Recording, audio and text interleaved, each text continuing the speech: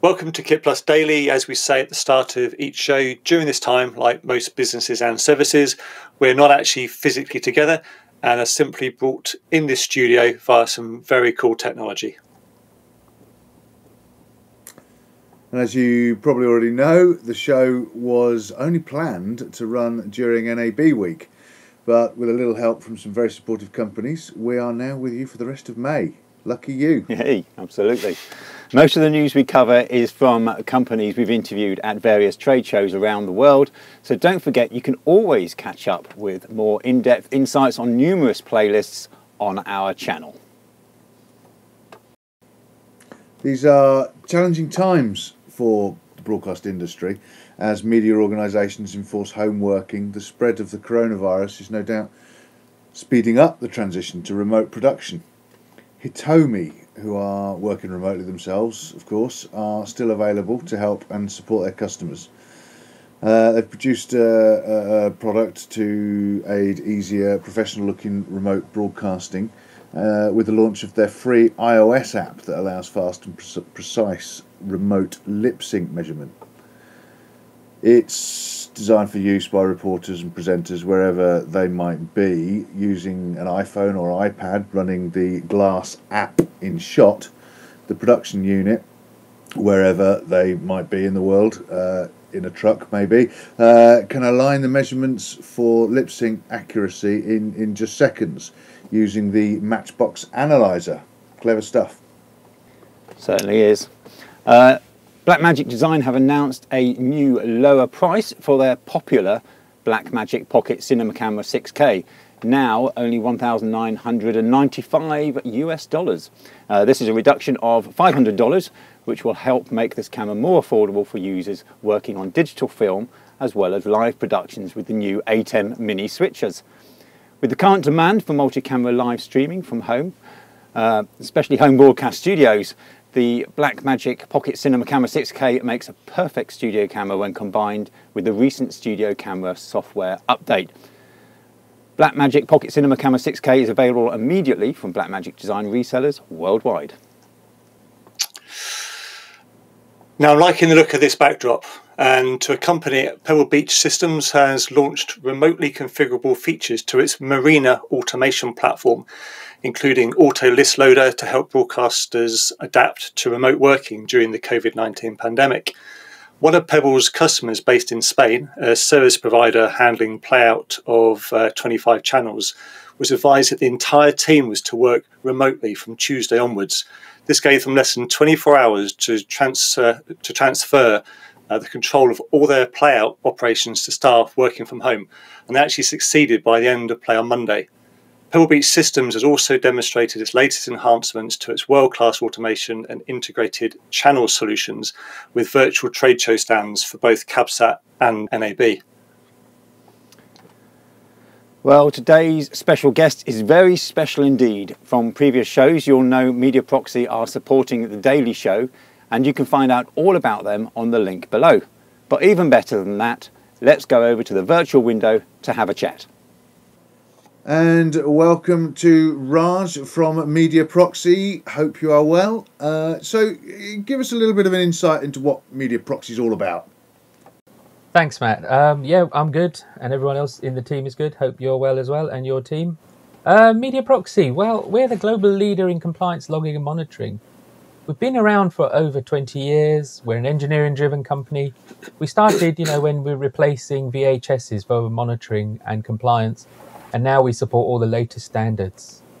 Our solution is software based, you know, using modern web browser interfaces, you know, for our multi viewers and our analysis, um, transport stream tools. Um, we've been deployed initially. We were originally we were always deployed in engineering departments, you know, making sure that the off-air picture was there and everything. But now we're in, mm. uh, deployed in marketing, ad sales executives. We're even I've even seen screens of our solution monitoring in um, reception and lobbies. Um, we've become the trusted partner mm. for the world's largest broadcasters and OTT providers. You know the fact that currently we're monitoring over 15,000 channels in over 60 countries. So Raj, let's jump straight in. And if we can touch on uh, Volicon, they offered uh, monitoring compliance solutions until it was dropped suddenly by Verizon uh, last year, I think. Now, this must have left a massive hole for broadcasters to fill. And can you tell us how Mediaproxy has, has succeeded really in the last 18 months?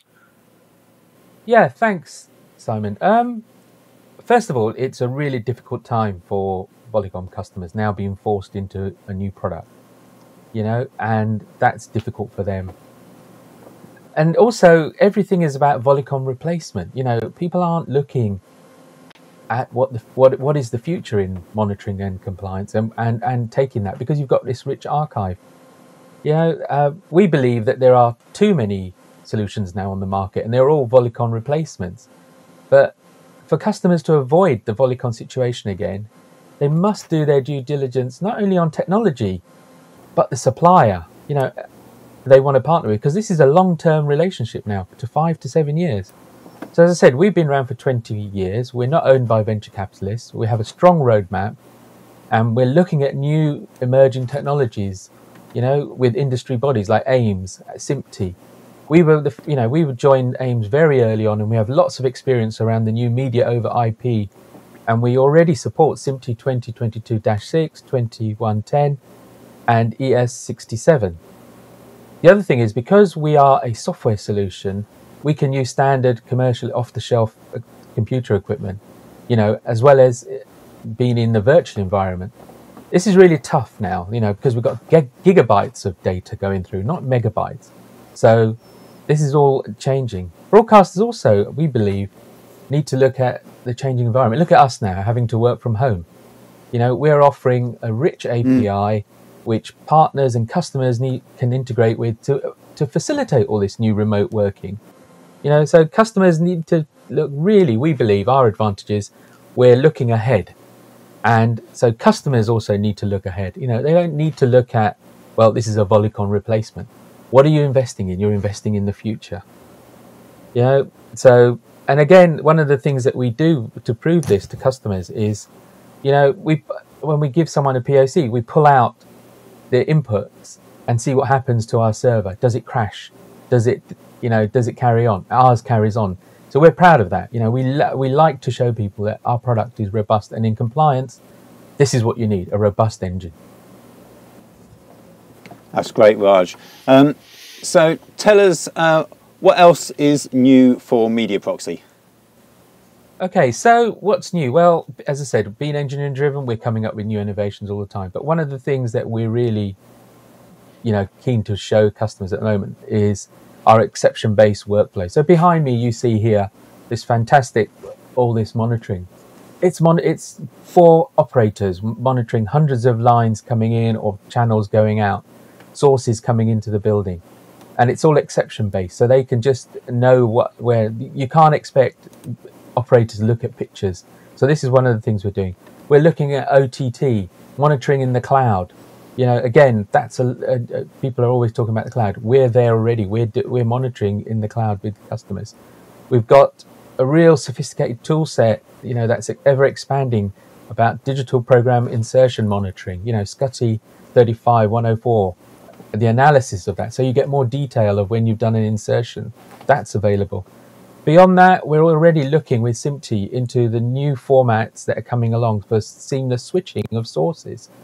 And also the 2110 compressed sources now. So that's what's new with us. Brilliant.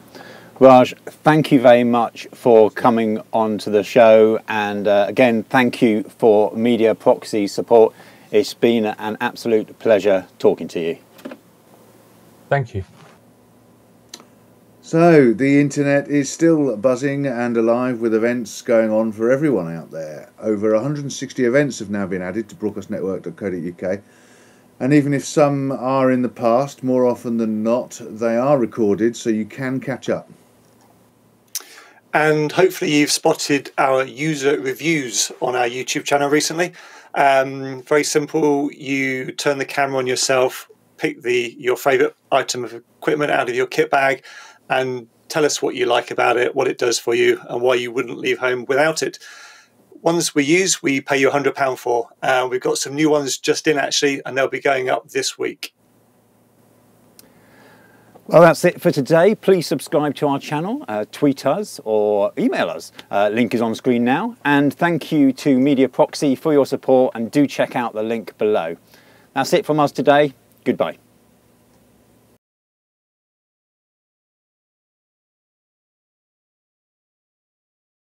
Just a final thing before we start: is Matt still jerky, or is he all right?